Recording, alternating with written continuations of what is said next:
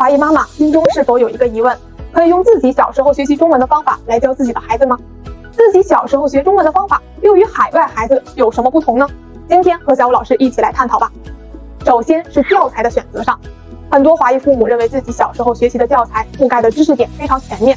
干脆直接拿部编本教材给学生学习中文。然而，这对海外的华裔孩子来说很难接受，因为他们的生活环境、学习方式以及学习中文的目的都与在国内不同。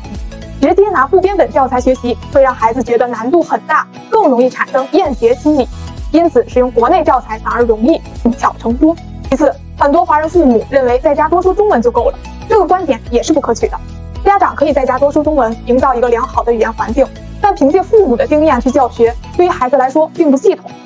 因为父母没有科学完整的课程体系、丰富多彩的教学内容以及科学高效的教学方法，会让孩子学习中文的效率大打折扣，也会磨灭孩子学习中文的信心。因此，不难看出，用自己小时候的学习经验去教海外孩子并不可取。华裔家庭都需要选择专业的中文课程，